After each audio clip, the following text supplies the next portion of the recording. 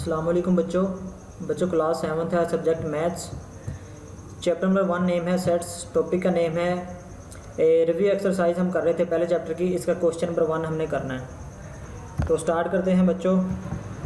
Review exercise one question number four write the following sets in the set builder form यहाँ पे कुछ sets दिए गए होंगे, उनको हमने सेट बिल्डर फॉर्म में लिखना है। ठीक है बच्चों? तो पार्ट नंबर वन है इसका A is equal to five six seven and eight, ठीक है? तो five six seven and eight तो इसका आंसर बच्चों क्या होगा? अब यहाँ पे देखें five six seven and eight ये हैं कौन से नंबर ये बच्चों नेचुरल नंबर्स हैं, ठीक है? नेचुरल नंबर्स नेचुरल नंबर्स वो होते हैं जो वन से स्टार्ट होते हैं one two three and one two three four five six and up to so on ये चलते ही जाते हैं, ठीक है? हमने ये डीपली पढ़ा हुआ है अच्छी तरह। और नेचुरल नंबर जो हैं इनफाइनाइट होते हैं, ठीक है? यानी कि इनकी कोई हद नहीं होती। अनलिमिटेड होते हैं ये। तो बच्चों हम सेट बिल्डर जो फार्म होती है ना, उसमें ये चीज़ तो आनी आनी है, ठीक है? इतनी चीज़। मैं, ये मैंने आप लोगों को बताया हुआ क्लास में। इसको बोलते हैं x such that x belongs to ठीक है? इसको पढ़ते हैं इस तरह से। X such that x belongs to अब ये नंबर्स जो हैं, ये जो नंबर्स दिए हुए हैं बच्चों, ये हो कौन से नंबर्स ये नेचुरल नंबर्स हैं, ठीक है? और नेचुरल नंबर्स तमाम तो नेचुरल नंबर्स नहीं हैं। ये नेचुरल नंबर्स हैं, ये हैं कि ये फोर से बड़े बड़े हैं और नाइन से छोटे हैं, ठीक है? फोर से बड़े और नाइन से छोटे। तो हम कह देंगे कि ऐसे नेचुरल नंबर्स जो फोर और नाइन के दरमियान में लाई करते हैं, यानी कि फोर, ना, फोर और नाइन के दरमियान में होते हैं, ठीक है?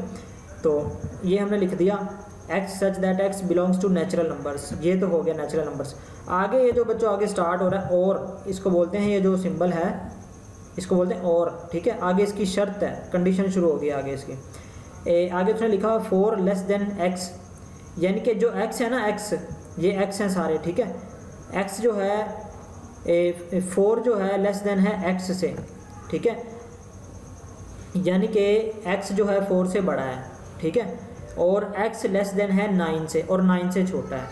फोर से बड़ा है और नाइन से छोटा है। तो ये ऐसे नंबर जिसमें आ जाएँगे यानी कि फाइव सिक्स सेवन एट ठीक है बच्चों? तो अब पार्ट नंबर टू इसका स्टार्ट करते हैं. B is equal to zero one and two ठीक है? ये बच्चों ज़ीरो से जो नंबर से स्टार्ट होते हैं, वो होते हैं होल नंबर्स ठीक है? होल नंबर्स मुकम्मल अदाद जिनको उर्दू में बोलते हैं. तो इसका आंसर बच्चों होगा, ये तो आना ही आना सबके साथ बच्चों. इतना मैंने आप लोगों को बहुत दफ़ा ये करवाया हुआ x such that x belongs to ठीक है? अब ये नंबर्स हैं कौन से? ये होल नंबर्स हैं. होल नंबर्स को हम कैपिटल डब्ल्यू से शो करवाते हैं. तो हमने आगे लिख दिया डब्ल्यू ठीक है? ये हमने लिख दिया x such that x belongs to W और एक्स जो है लेस देन है थ्री से। थ्री से छोटे छोटे यानी कि हमने होल नंबर से लिख देने हैं। ठीक है बच्चों, ये इसकी कंडीशन है।